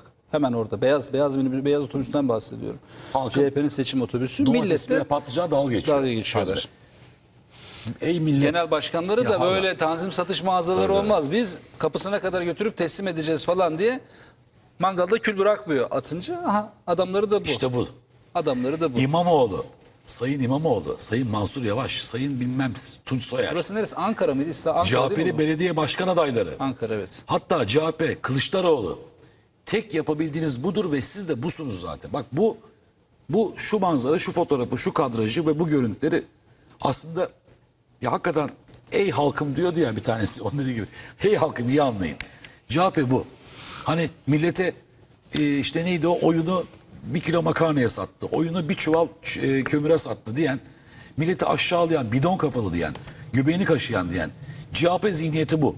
İstanbul'muş Hala halkçı olduğunu Ankara'da ama söylüyorsunuz. İstanbul'muş burası. Ya fark etmez, şey. hiç fark etmez. Gerçi fark etmiyor. Bu yani CHP zihniyeti bu. CHP zihniyeti İstanbul Nedir o? İktidarsızlar, herhangi iktidar yok. de görsen bundan şaşırmayacaksın. Ben böyle yani. bir yazı yazmıştım bununla ilgili. Yani iktidar yok. İktidarı yakalamak için patlıcana ihtiyaç var. Bu. Başka bir şey Patlıcan üzerinden, biber üzerinden iktidar yakalayacaksın. Şimdi bir haber daha var. Gazetesi'nde çok e, Buyur, gider. hoşuma gitti. Örgütlenmede hızlı. Devrim yavaş yavaş gelecek diye Mansur Yavaş üzerinden bir propaganda yapıyorlardı Ankara'da. Fakat son dönemde Mansur Yavaş'la ilgili Güneş Gazetesi almış bu meseleyi. E, Mansur Yavaş seçilirse 20 bin kişiyi işe alacak diye bir iddia dolaşıyordu etrafta. İşte alınacak kişilerin de Hatta ağırlıklı olarak sol galiba. örgüt üyeleri, yasa dışı sol örgüt üyeleri, PKK'lar ve FETÖ'cülerin ağırlıklı olduğu iddia ediliyordu Alır, falan. alırlar. Hani böyle bir şey var mı yok falan diye Abicim, düşünürken hani tabii. propaganda mı acaba, karşı propaganda mı falan, çamur atma falan diye düşünürken CHP'nin Ankara milletvekili bir açıklama yapıyor Gamze Taşçer. Evet alacağız diyor. Alır. Tamam, sosyal medya üzerinden bunu da hani Mansur Yavaş yani- örgütlenmede hızlı başlığıyla söylemiş. Ben onu görmemiştim. Bunu Yani. böyle anlatıyoruz. Artık bunu şu an bu açıdan yani bunu nasıl bu millet bunu nereye koyacak? Tabii milletin kararıdır. Ama bunda sakın şey anlamayın artık. Yani Mansur Yavaş sağcıydı, o solcuydu ö- diyor. Yok. Yani Erdoğan'ı devirmek üzere bir araya gelen bu kafa diyoruz. Konsorsiyum her türlü saçmalamaya hakkı var artık bu saatten sonra. Her türlü saçmalamak. Vallahi şeyi bilmiyorum işte ama Saadet, Kandil, Ben Antalya'da İzmir, Atatürk, Antalya'da hepsi bir arada. Menderes Türel'in seçilmediği 2009 seçiminde Evet. Mustafa Akaydın kazanmıştı evet, biliyorsun. Evet. Şu şarapçı, şey, biracı. Evet. O Alman bilmem bira günleri falan yapıyordu. Oktofest. Okto, Oktoberfest. Evet. Oktoberfest, evet, diye doğru. geçiyor. Daha sonra 2014 yılında Menderes Türel kazandı. O işte şeyleri hatırlıyorsun. Menderes Türel'in çöpte yaktıkları evrakları bulmaları, bunlarla ilgili suç duyurusunda bulunmaları falan filan. Yani aradaki o 5 yıllık süre içerisinde Antalya'ya çivi çakmadıkları gibi o dönem çıkan haberlerde Mustafa Akaydın'ın 7 bin kişiye yakın kişi işe aldığını Tabii. yazıyordu medya. Tabii. Bak 7 bin tamam mı? Çünkü bu adamların... Çivi de çakmadı de- ha. Yok sıfır canım. Sıfır. Antalya'yı Sonra bitirdi. 2014'te Menderes Sürel tekrar kazandı. Tabii, sebebi de o zaten. Aynen. Bütün CHP'liler de oy verdiler bu Hayır, sefer. tekrar kazandı. Tekrar kazandıktan sonra işte hem o borçları ödedi. Hem içerideki falan iyileşmeyi yaptı. Geliri artırdı. Bir sürü de işte şu anda yolları yaptı. Bilmem neleri, işte kavşaklar bilmem Evet. şunlar bunlar falan filan. Ee, e, biliyoruz yani Antalya'nın hangi belediyesiydi? O DSP'den aday oldu. Unutuyorum ismini sürekli. Kepez, Murat Paşa. Değil değil. Murat Paşa'ydı zannedersem. Murat Paşa'da adam e, bunlar diyor FETÖ, FETÖ'yle kol kola giriyorlar diyor. Yani hani elbette şimdi önce CHP'li şimdi DSP geçti bunun için çamur atıyor diyor falan filan diyebilirsin. Kabul ediyorum yani izleyicilerimiz de diyebilir ama en nihayetinde o zaman gizledikleri söyleyemedikleri mevzuyu şimdi çok rahatlıkla söylüyorlar Murat Paşa'da mesela. Adam artık hani şeye imana geldi falan derler ya. Şimdi çok net bir şekilde söylüyor. E dönüyorsun, dolaşıyorsun abi. Bütün bunların yapmış oldukları iş her ne kadar genel başkanları milletin ağzına bir iki parmak bal çalmak için de olsa adamları işte domates ve patlıcanla aşağılıyor. Ankara'da Yani bütün hepsinin te- MLKP'sinden DHKPC'sine, PKK'sından Kandil'ine, Pensilvanya'daki şarlatanından bilmem kimine kadar adaylarını destekliyor. Devrim yavaş yavaş gelecek diye bir sürü böyle slogan bulunca böyle atınca mangala kül bırakmıyorlar. E, e Mansur Yavaş bunun diyetini nasıl ödeyeceksin diye sorulduğunda 20 bin kişi işe alacağım. Kim bu 20 bin kişi? PKK'lısı var, FETÖ'cüsü var, yasa dışı sol örgütler var. Var oğlu var. İttifakın E ne o oldu? Hani Ankara'ya bilmem ne getirecektin. Yok canım hikaye ne olacak? Mansur'dan ne bekliyorsunuz ya? Ben biliyorum bak Mansur Yavaş'ı biraz daha konuştursunlar ha bak. Biraz an, ya derdini anlatsın bak. Ben sana söyleyeyim.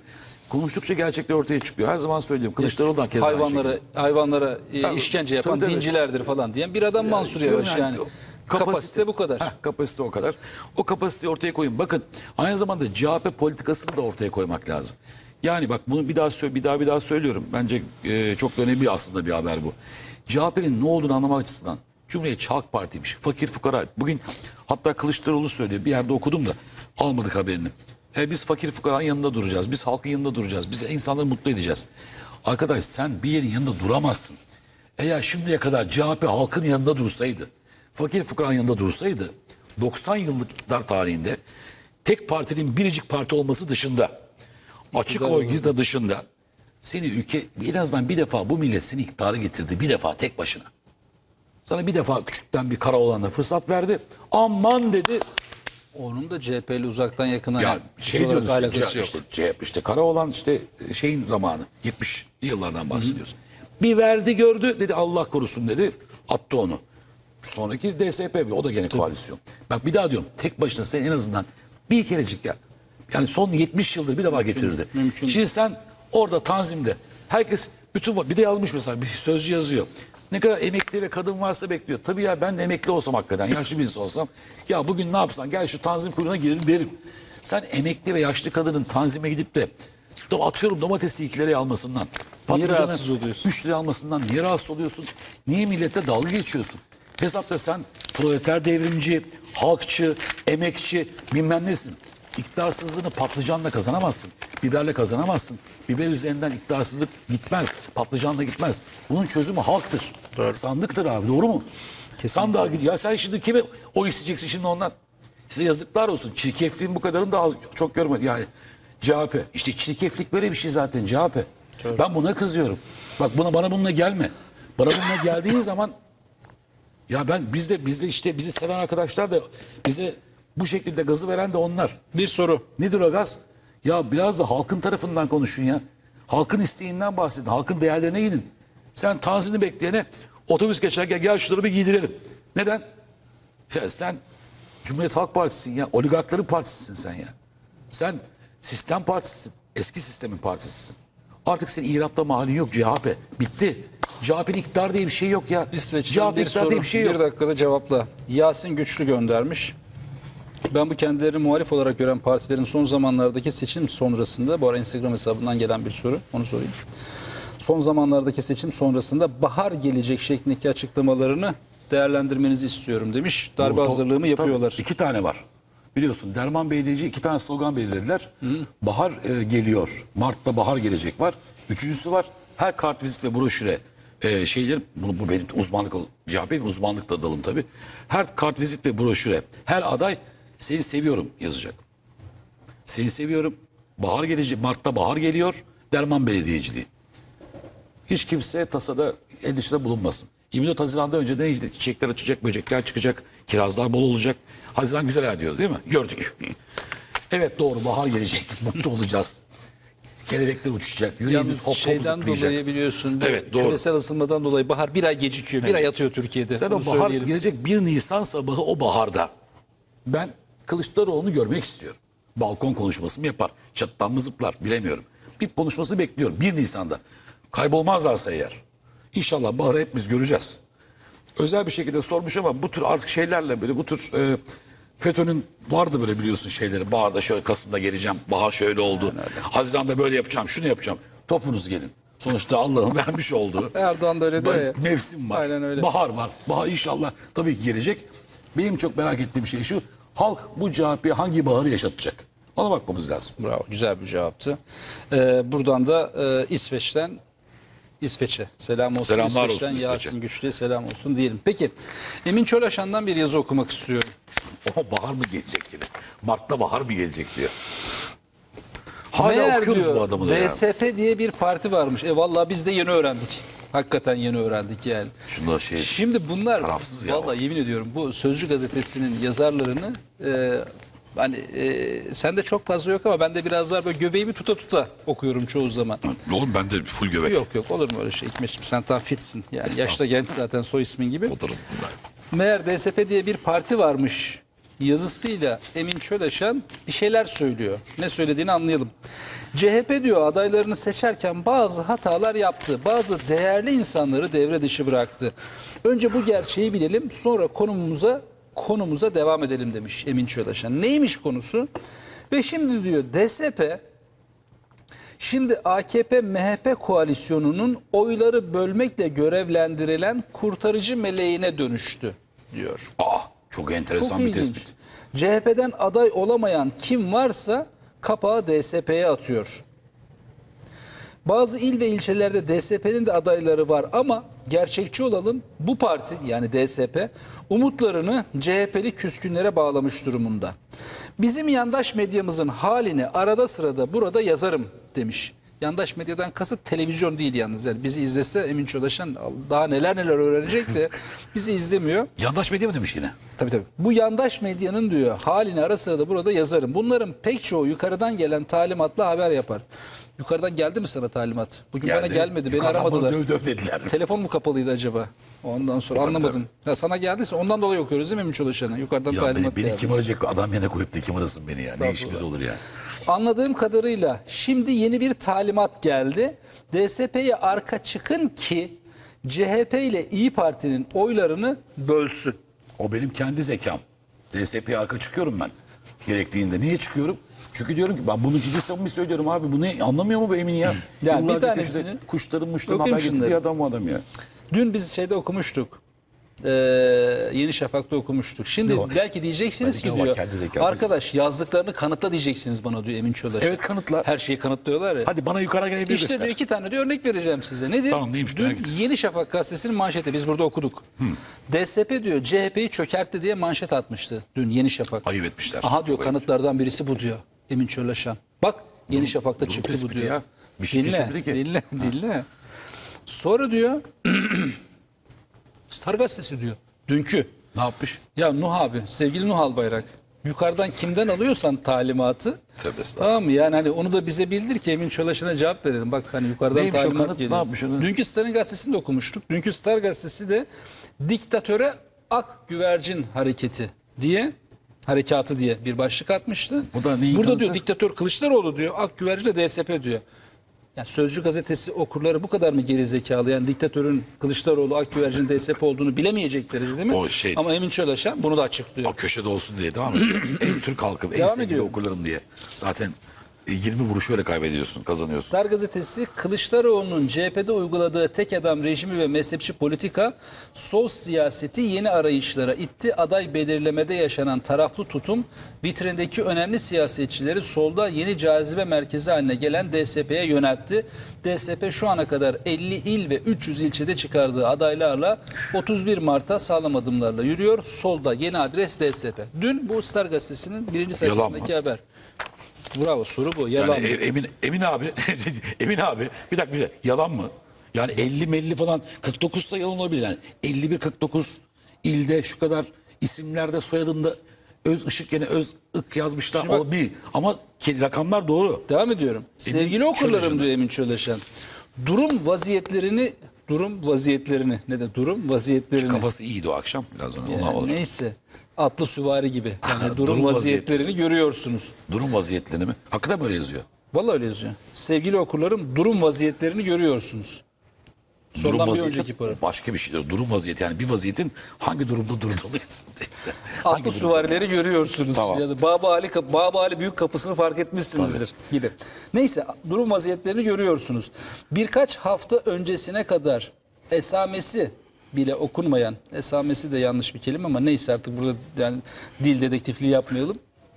Bile okunmayan DSP artık iktidarımızın ve yandaş medyamızın en büyük övgülerine mazhar oluyor. Şimdi mazhar olmak şöyle bir şey mi? Yani DSP şu ana kadar 50 il ve 300 ilçede aday çıkartıyor demek DSP'yi övmek mi? Bu nasıl bir kafadır? Ben Geliyorum. sözcü okullara küfür etmek istemiyorum. Bak sözcü okullara saygım var. Çünkü arkadaşlarım var. Türk siyasetinde karşımıza çıkan bu yeni tablo son derece ilginç diyor. Siyasette birkaç hafta öncesine kadar hiçbir etkinliği olmayan, ismi bile geçmeyen bir parti şimdi küskünleri içine alıp kendi adından söz ettiriyor. İktidarın ve yandaş medyanın rüzgarına yelken açıyor. Şimdi soru şu, Emin Soru şu da abi, anlamadığın buldum. mesele şu. Bir, hem yandaş medya diyorsun, yandaş diyorsun, şu diyorsun, bu diyorsun falan. Buraların bu yandaş medyanın yapmış olduğu haberler, şunlar, bunlar DSP seçmenini ya da CHP seçmenini etkileyecek bir durum söz konusu değil. Madem öyle diyorsan. Değil mi yani hani yandaş medya ise burayı sadece AK Parti'ye ve e, Cumhur İttifakı'na oy Tabii. verecek insanlar izliyor, dinliyor diyorsun sen. İddiam bu yönde. E niye endişe ediyorsun o zaman bunların DSP'yi desteklemesini öyle bir şey varsa bile istediği kadar desteklesin. Herhalde Cumhur İttifakı'ndan DSP'ye oy verecek halleri yok. Bu bir. İkincisi esas soru şu. Abdülkadir Selvi yazmış. Bak mesela senin yapmadığın gazeteciliği öyle hani küçük kuş minik kuş gibi zamanında e, eşinin de e, ondan sonra e, şeyde adliyede yargıda yer almasının la ilgili olarak ya da onun da katkısıyla bir sürü kuşlardan haber geliyordu sana ama herhalde artık o kuşların kalmadı. Sadece sayı doldurmakla, sayfa Artık doldurmakla, öten yapmakla yapıyorsun. artık. Aynen öyle. Kuşlar ötmüyor. Artık. Aynen öyle. Şimdi bak senin yapmadığın gazeteciliği Abdülkadir Selvi yapmış. Ne yapmış? DSP Genel Başkanı'nı aramış. Ne oluyor demiş. Ne oluyor? Önder demiş. Aksakal. Önder Aksakal. Unutmayalım Okuyorum biz. Abdülkadir Selvi'den. Arkanızda külliye mi var diye sormuş. Direkt. Tam damardan sormuş. Damardan. Aynen öyle. Daha önce de Kemal Kılıçdaroğlu da görüşmüş şeyi, mevzuyu. Tamam. Böyle bir şey yok diyor DSP Genel Başkanı. Ben diyor DSP Genel Başkanı seçildikten sonra tahmin ediyorum o da 2018 olması lazım. Tarih yazıyordu ama bakamadım. İki kez yazılı, iki defa da sözlü olmak üzere Cumhurbaşkanı Erdoğan'dan randevu talep ettim. 2015. Olması lazım. 2015 mi? 2015.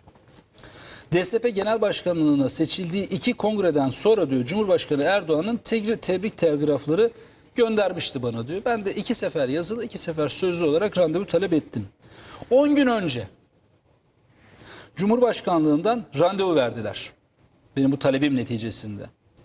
Özel kalemi arayıp görüşme seçim sürecinde yanlış anlaşılır seçimden sonra tabii ki olur dedim ve görüşmeyi seçim sonrasına bıraktım diyor. Yani Düşün. AKP'nin kontrolündeki Açık, bunların açık. ifadesiyle DSP'nin genel başkanı diyor ki şimdi görüşürsek olmaz. Yanlış anlaşılır. Ondan sonra biz seçimden sonra görüşelim ama Emin Çolaşır için önemli değil. Randevu seçim sonrasında ertelendi diyor. İktidarın CHP'yi bölmesi için DSP'ye destek verdiği iddiasını da sordum. İktidar DSP, CHP'yi bölmek için size destek veriyor. O da şunu söylüyor. Sert bir şekilde tepki göstererek zinhar yok dedi. Zaten böyle bir şey olamaz diye üsteledi diyor. Peki e, Seyit Torun'la Oğuz Kağan Salıcı geldi. Ne oldu o görüşmede? Size ittifak teklif etmişler. Siz ittifakı da kabul etmiyorsunuz. Bugün de CHP'yi bölen parti konumundasınız. Sorusuna da şunu söylüyor. Ee, DSP Genel Başkanı Önder Aksakal. CHP Genel Başkan Yardımcıları Oğuz Kağan ile Seyit Torun 8 Ocak'ta DSP Genel Merkezi'ni ziyaret ederek görüştüler. Genel Başkan Yardımcılarıyla görüştüler. Daha önce Seyit Torun'la görüşmüştüm ben diyor. DSP'yi ziyaret ederek yapabileceğimiz bir şey varsa biz hazırız dediklerini anlatmıştı. İttifak için nabız yokladıklarını ama bir sinyal alamadıklarını söylemişti. Önder Aksakal ittifak yapalım diye teklifte bulunmadılar diyor. DSP'nin kapısından bile geç- geçmediler.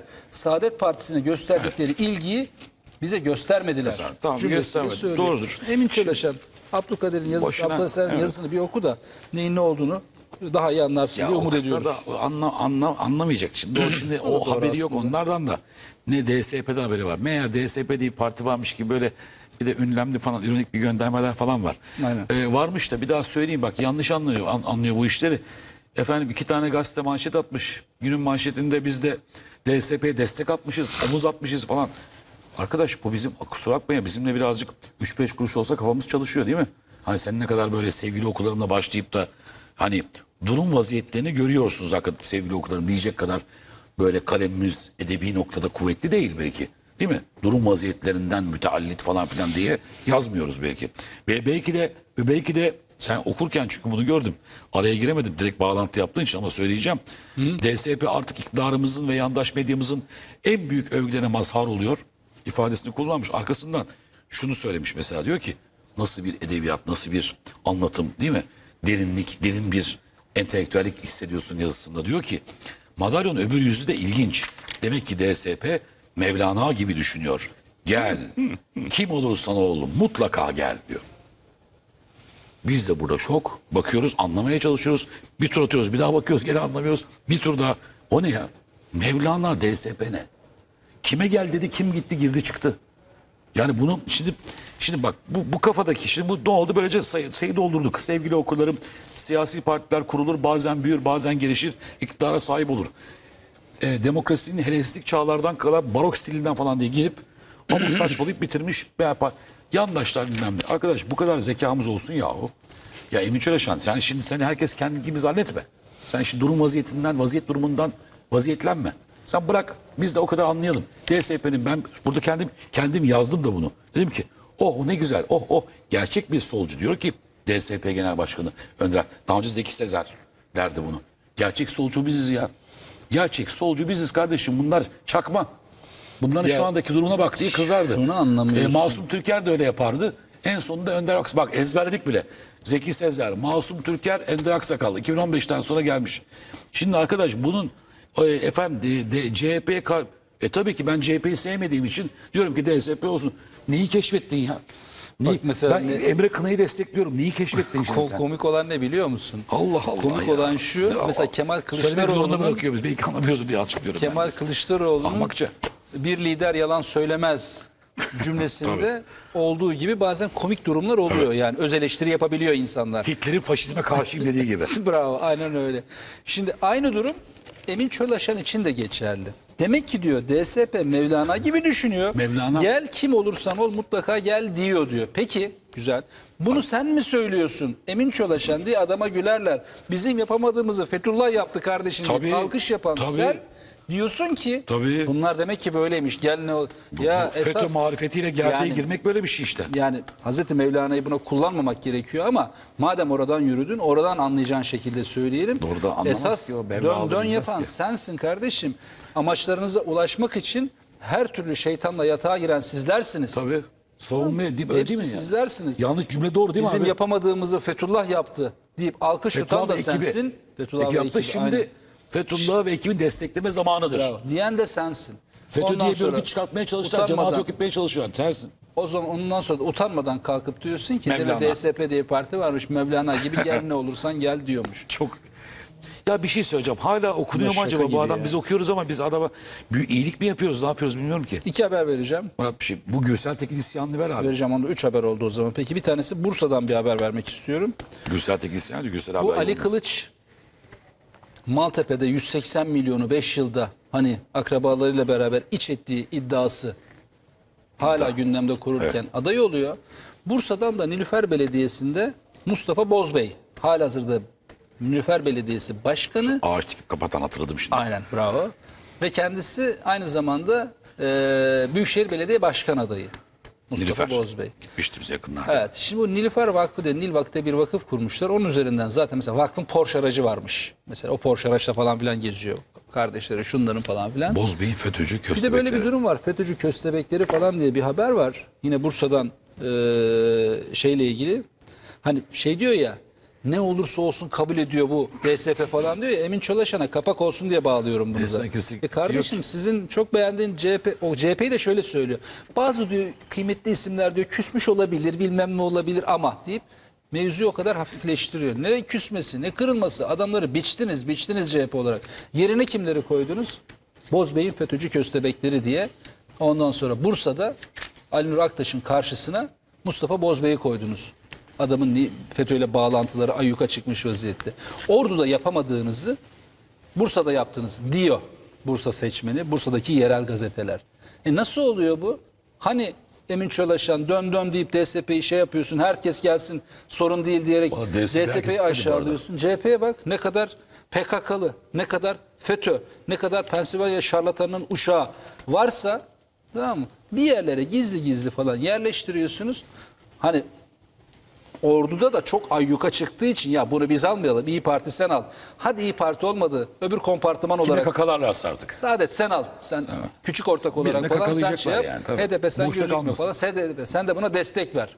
Muhabbeti. Aynı mevzuyu Bursa'da yapıyorsunuz. Ya bunlar utanmazlar. FETÖ'cü köstebekleri Abi şunları tam çok bunları aday güzel gösteriyorsunuz. Söylüyorsun da sevgili Murat Çek yani bunlar böyle bu şekilde suratına çarpsan da utanmaz ki. Şimdi Emin Çöreşan nesinden utansın, utansın bunların ya.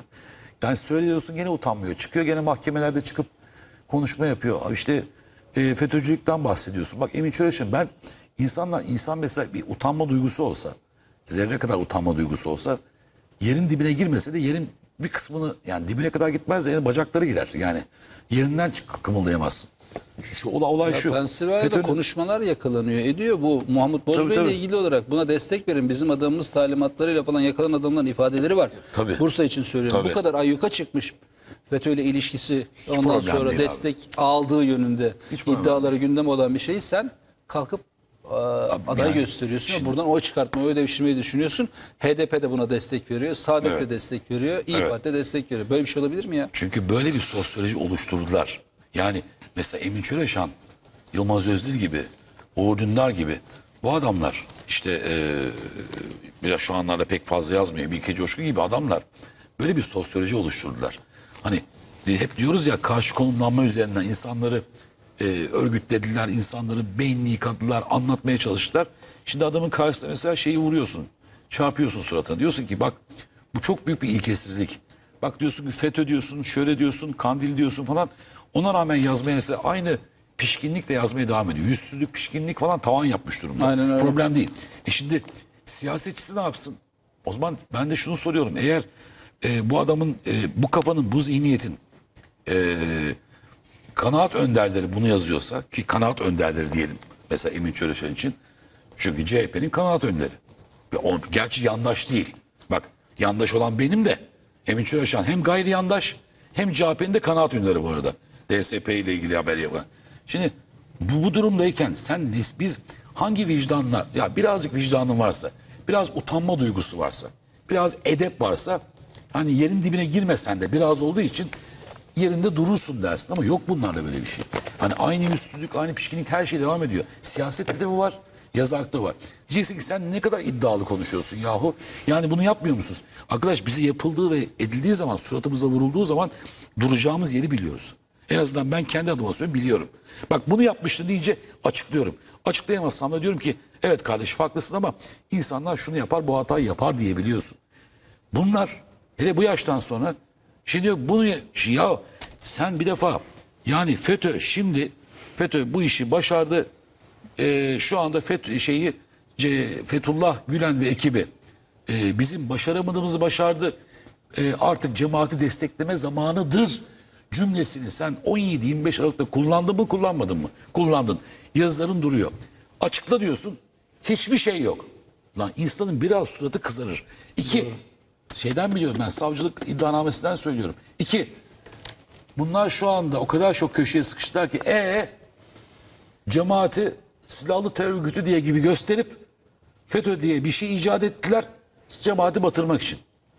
Arkadaş senin bu cemaat sevgin, FETÖ sevgin nereden geliyor sormazlar mı? Doğru. Ya sen bir defa bundan sonra kalemini kır, koy münasip bir yere, ondan sonra bir yazıyı bırak. Bu saatten sonra diyorsun. Adam diyor ki Türkiye için ben Türkiye için mücadeleme Kemalist Türkiye bilmem ne diye hala yazı yazıyor. Aynen. Utanma İki duygusu tane yok. haber. Bir Utanma tanesi duygusu yok. takvim manşetinde Gürsel Tekin bizim söylediklerimizin çok daha ağırını anlayabilecekleri dilde söylemiş. İstanbul'da 10 tane mahalle söylesem 10'unun da yerini bulamaz diyerek Kılıçdaroğlu başta mu? İmamoğlu'na Kılıçdaroğlu da öyleydi. ağzında da Kılıçdaroğlu'na O söylüyor. mahalleleri çünkü. Tam iki yıl İstanbul'u gezdim. Ekrem İmamoğlu aday olduğunda telefon ettim diyor. Gürsel Tekin. Kentin tomografisini çektim. Her yardımı yaparım dedim. Maalesef aramadı Ekrem İmamoğlu. Ama başka partiden adaylar aradılar sağ olsun. Bilgimize başvurdular diyor. İstanbul'da 10 mahalle söylesem bulun desem bulamazlar. Bulurlarsa siyaseti bırakırım. Gerçi Gürsel Tekin sen zaten bırakmış oluyorsun bu sayede Kılıçdaroğlu 10 seni de ezdi mahalle geçti. versem bir 10 gün vakit versem diyor. 10 mahalle her gün bir mahalle. Aynen. Başkan adaylarımızdan da Sayın Kılıç Pardon affedersiniz. Sayın Kılıçdaroğlu'ndan da benimle görüşmesini bekliyordum diyerek Valla ben bin defa muhalefetini söyledim. söylemiş. Bin defa söyledim. Burada söylerken de millet yanlış anlıyor. Vay sen şimdi Emin Çalışan'a göre ben CHP'yi destekliyorum. Ben Gülsel Tekin veya CHP'ye kıl çıkartmak için başka bir şey destekliyorum. Onlar böyle bu tür teori üretiyorlar ya. Aynen. Bir olay bitti geçti gitti ama ben bunu bir daha tekrarlayıp arkasında duruyorum lafımın. Hani bir merhabalığım var diye falan değil değil. Hani görmüşlüğüm var diye değil. Hiçbir şekilde bağlantı olmadan hiçbir şeyim yok.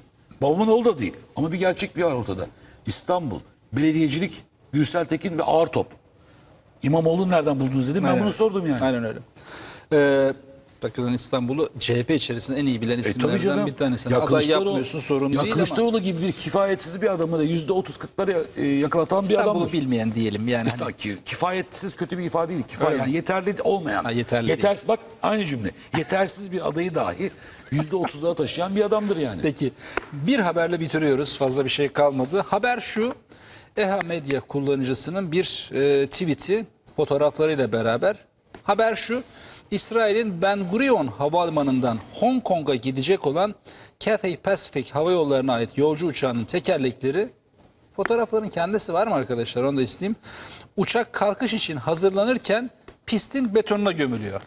İsrail Çökmüş. Ben Gurion havalimanında Amerikan zannedersem Cathay Pacific Amerikan olması lazım. Ee, Evet.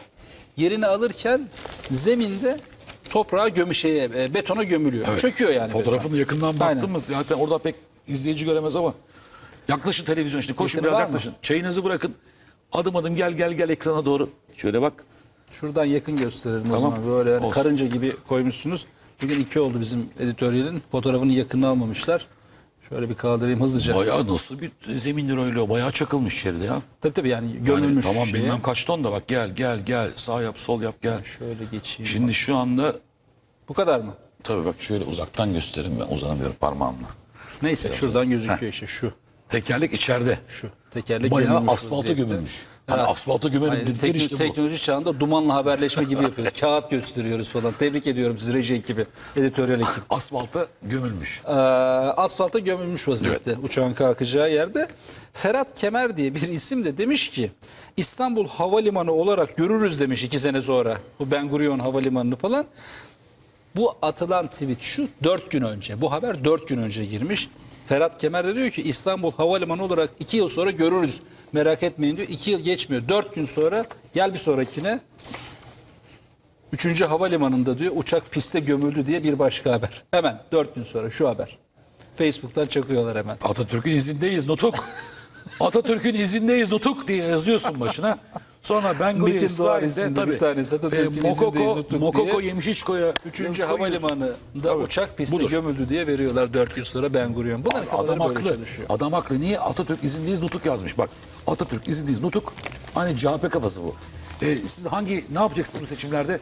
Biz cumhuriyetçiyiz. Atatürk'ü çok seviyoruz. Heykel yapıyoruz. Cumhuriyet yaşasın. Sandık mutluyuz. Ne yapacağım baba? Bitti. C- CHP'yim ben ya. Bitti. Günün işte sonuna böyle geldik. kapak olsun. Gazete manşetleri ve günün gündemini Hikmet Genç'le birlikte değerlendirdik. Yarın saat 11'de karşınızda olmak umuduyla iyi günler diliyoruz.